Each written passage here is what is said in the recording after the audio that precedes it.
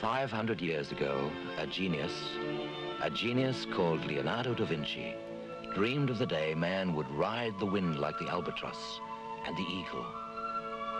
To Leonardo, flight was a riddle, an inspiration, a marvel.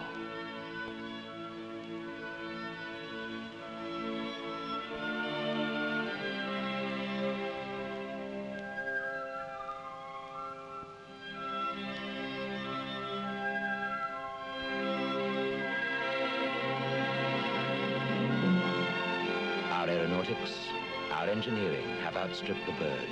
Yet the marvel of flight still touches us. Touches even pilots of ours who've flown more than 20,000 hours.